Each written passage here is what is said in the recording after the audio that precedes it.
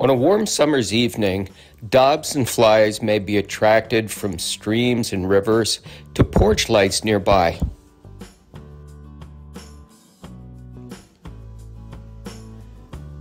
But come morning, temperatures in the 60s may be too chilly for dobson flies to take flight.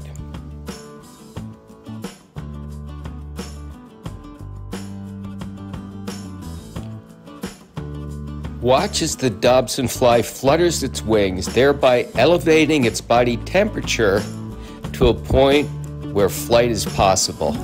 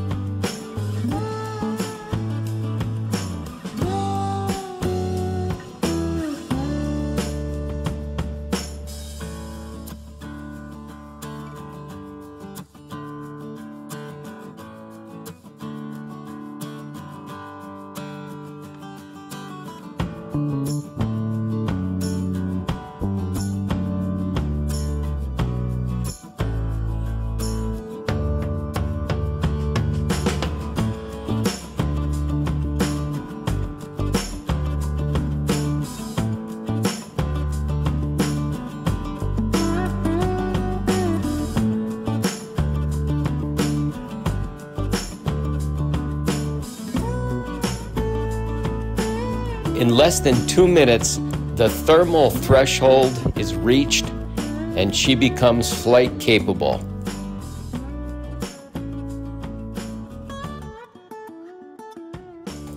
There she goes.